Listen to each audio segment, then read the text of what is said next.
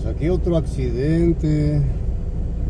Ayer cuando eh, veníamos de trabajar hubo uno y aquí saliendo de trabajar y hay otro.